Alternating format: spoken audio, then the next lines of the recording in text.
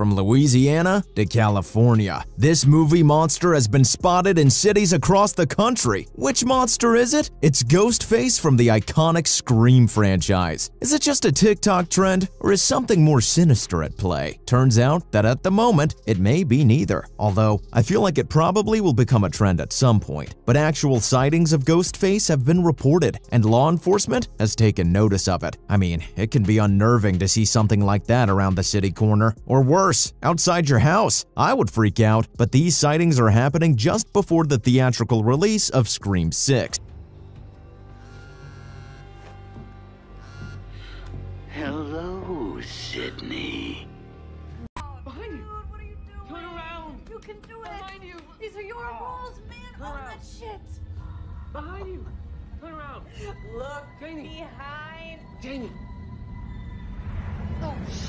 You know, the infamous villain who takes on a new identity with each new Scream movie? Well, this time around, Ghostface is back for what's gearing up to be the most gruesome and brutal installment of the franchise yet. The new movie is a direct sequel to the previous one. It follows the Carpenter and Meeks siblings as they leave Woodsboro to start fresh in New York City. Unfortunately for them, a new Ghostface killer is on the loose again, and once again, hiding behind that iconic white mask and causing all kinds of mayhem, this guy just won't give up. But it turns out that we don't really have to be scared. If you spot one in your neighborhood, the ghost face may just be doing its job. In my head, their job is also to kill people, so I don't know. But I think this is simply a viral marketing stunt by the movie's team. Okay then, just a gentle reminder of your friendly neighborhood slasher, coming soon to a theater near you.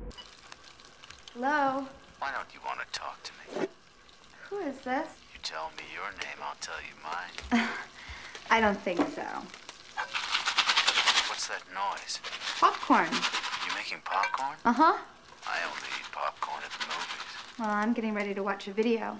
And that's exactly what it is. It's definitely not the first time Paramount has used the tactic. Other horror movies also used similar techniques to create a buzz, which seems to be working, until someone in Sonoma, California actually called the police on Ghostface. As they should have, actually. When someone dressed up as Ghostface showed up in the busy town square, it understandably freaked out a bunch of residents who called the cops to investigate. But according to the Sonoma Police Department, the person in the costume was actually hired by Paramount to promote the upcoming Scream 6 movie, so there's nothing to worry about, and the situation has been taken care of. As a horror movie buff, that's low-key disappointing, but for the people who saw Ghostface, it was probably quite disturbing, and poor Paramount, their clever marketing tactic kinda fell victim to the police. It's not just Sonoma, the sightings also took place in New Orleans and St. Louis, but the sighting in California City is way more significant. The postmodern, ironic slasher movie was written by Kevin Williamson and made in Sonoma County. It was actually filmed in the area around Santa Rosa, which is located in Northern California. In the movie, poor Casey Becker, played by Drew Barrymore, lives in an isolated house on Sonoma Mountain Road in Glen Ellen. That's situated southeast of Santa Rosa on Route 12. Meanwhile, the character Sidney Prescott, played by Neve Campbell, lives to the north of Santa Rosa on Calistoga Road. So there's no actual Woodsboro in Northern California, which is where the movie is set. Originally, the plan was for Santa Rosa High School to be the location of Woodsboro High, but the school board decided against it after reading the script. So, the school ended up being played by Sonoma Community Center, which is located to the southeast of Santa Rosa on East Napa Street. As for the Woodsboro Town Square, where the teens gather to discuss the Ghostface Killer murders, that's actually way north of Santa Rosa and Healdsburg. Specifically, it's the town square on Highway 101, and the cop station is Healdsburg Police Station. So it was kinda like a homecoming for Ghostface when they showed up for that very public appearance. But it was definitely a marketing stunt by Paramount. The marketing campaign for the movie has included people dressed as Ghostface, with the masked murderer making appearances in at least three cities. Apparently, there have been multiple sightings of people dressed as Ghostface, but it was the one person seen standing on a street corner in Sonoma on Monday, which prompted several 911 calls. The Sonoma Police Department department later confirmed that the person was hired by a company through Paramount to promote the new Scream movie. But it's not just Sonoma where Ghostface has been seen. There have also been sightings in New Orleans and St. Louis. Paramount actually used the same technique with another of their movies. Remember the 2022 movie Smile? So before the movie was released, the marketing team for the studio pulled off this stunt during a few Major League Baseball games. They bought seats behind home plate and had actors sitting there, grinning like crazy into the camera for the pitcher-batter shot. They did it for a while, just to make sure people really noticed. To be honest, none of the two tactics really caught on the way the clown sightings of 2016 did, where creepy clowns were just showing up in random places. Yup, that happened just before the release of the 2017 version of it, and while initially it may have been a stunt, it really caught on, with more and more people joining in on the trend. But back to Ghostface. They've really endured the test of time. Ghostface is one of the most iconic horror movie monsters yet. They've got that unique look that is instantly recognizable. The ghostly white mask with a black robe and the eerie voice creates an unnerving presence on the screen. The simplicity and familiarity of the mask and costume make it easy for viewers to associate with the character. The Scream movies were a significant shift in the horror genre. They were self-aware and poked fun at horror movie tropes while still delivering on scares. The combination of humor and horror made the movies popular with both horror fans and casual viewers. Finally, Ghostface's unpredictability and cunningness adds to his allure as a horror movie monster. The character is a master of deception and can change his tactics on the fly, making him a formidable foe for the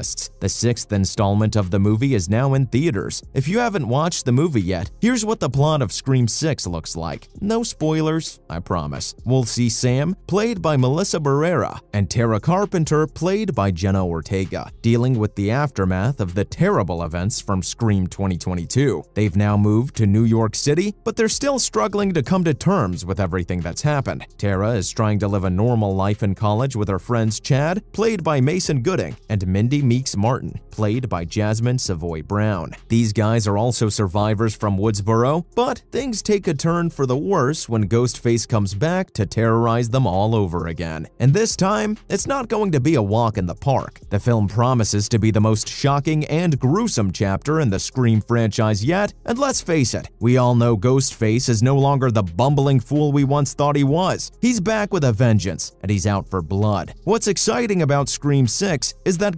Ghostface's motive for the killing spree isn't Sidney Prescott for the first time in the franchise, so really anything could happen. It's going to be a roller coaster ride of death, bloodshed, and unexpected twists that will leave you on the edge of your seat. So get ready for another wild ride, and that's why Ghostface sightings have been happening across the country. Guess. Um, Nightmare on Elm Street. Is that the one where the guy had knives for fingers? Yeah, Freddy Krueger. Shit, it's Ghostface!